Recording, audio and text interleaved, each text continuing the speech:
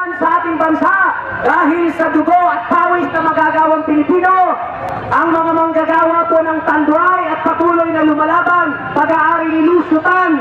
Tinatawagan po ang tagapangulo ng League na Tudla, si kasamang Arce, Arce Arce. Isang magandang umaga po sa lahat ng mga uling manggagawa na nandirito ngayon sa harapan ng Mindjulan ito. Kami po ang mga manggagawang kontraktual ng Tanduay na umaabot na po ng halos isang dekada sa loob ng paggawaan ng Tanduay bilang isang kontraktual na manggagawa. Kami po ay nagkaisa, lalong-lalo po sa pamunuan ng Tudla, nagkaisa po kami na ipaglaban ang karapatan ng mga manggagawang kontraktual doon sa Timog at Tagalogan at sa ating bansa.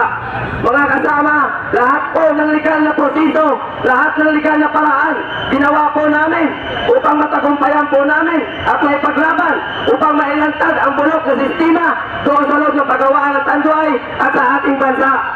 Malinaw po sa amin na ang Tanduay at ang dalawang agency po namin ay lumabag sa Department of Labor. Kaya po ganun na lamang po ang aming pagkaisa upang i-rehistro ang aming asosasyon doon sa Department of Labor sa probinsya ng Laguna. Kaya mga kasama, lahat po ng paraan, lahat mga legal na proseso ginawa namin. Pero ang ginawa ng management ng Tanduay at ang management ng kami po ay tinanggal sa loob ng pagawaan noong Mayo 16. Mayo 18 po, ipinutok po namin ayon sa pinagkaisahan ng aming asosasyon na iputok po namin ang isang napakasaysayang wilga doon sa Timog at Tagalogan at doon sa harapan ng Tanduay. Doon sa aming wilga po, nakaranas po kami ng matinding harassment sa mga security guard at mga bayarang doon tinusutan. Legal po ang aming pinaglalaban at tama po ang aming pinaglalaban batay sa ating karapatan. Pero bakit gano'n na lamang? Wala po kaming hinihingi na dagdag sweldo.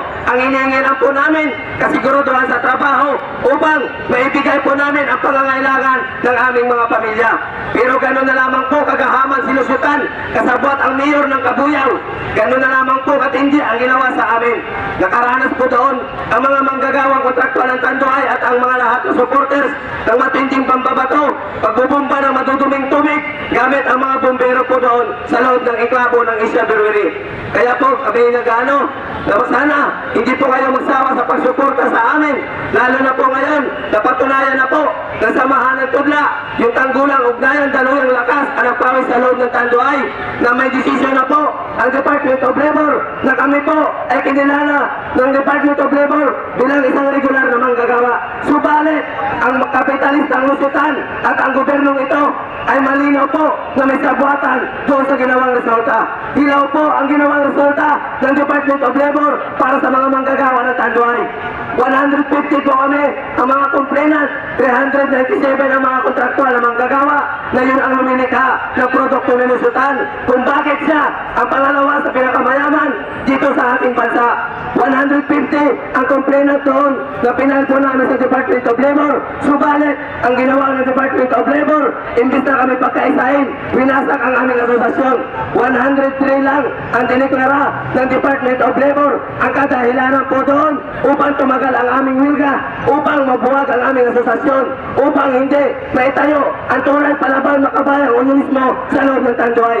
Kaya po kami nananawagan sa lahat ng mga organisasyon na sumusuporta sa amin na sana po tuloy-tuloy po tayo, magtulungan po tayo upang matuldukan ang kontraktualisasyon dito sa ating bansa. Sa ngayon po, nagfile na po kami sa Office of Secretary ng motion po upang kami makabalik sa loob ng paggawa ng Tanduay. Pagkatapos po dito, tutungo po kami doon sa Department of Labor. Hinihingi po namin ang inyong suporta sa pagpunta po doon upang kalampagin ang Department of Labor na ipatupad na ang ginawa nilang hilaw na desisyon sa amin sa mga manggagawang kontraktor ng Tanduay. Kaya muli, nananawagan po ang mga manggagawa ng Tanduay ng inyong suporta, lalong-lalo na po pag may kung makayanan po natin, magkaisa po tayo. Pumasyal po tayo sa aming picket line. Ito'y matatagpuan sa bayan ng Kabuyaw. Doon niyo po makikita kung paano, paano, kag, paano kagahaman sinusutan sa kanyang tubo. Doon niyo po makikita kung ano ang bulok ng sistema ng ating bansa at ng mga kapitalistang nagkakaisa upang matupin ang ating mga karapatan. Kaya muli, ang panawagan po namin, kung i- umihingi po kami ng inyong suporta upang matagumpayan, hindi lamang po ang laban ng mga tanduay, nandun din po ang iba't ibang kumpanya na patuloy na lumalaban, katulad ng kumpanya ng Sagara at ng kumpanya, kumpanya ng Karsay na patuloy din po lumalaban sa kontraktualisasyon doon sa Timog Katagalugan. Kaya ang panawagan ng mga taga-tanduay, ang panawagan ng mga manggagawa ng tanduay, tulungan niyo po ang mga manggagawa ng tanduay upang matagumpayan, upang tuloy-tuloy na po natin mabuwag ang kontraktualisasyon. Ang panawagan po ng mga taga-tanduay, uring manggagawa, hukbok mapagpalaya, unyon, unyon, unyon ng manggagawa, Itayo! Itayo! Ipaglaban! Timog Katagalugan, Tuloy-tuloy ang laban! tuloy-tuloy ang laban. Timog Katagalugan! Muli, isang magandang umaga po at maraming salamat po.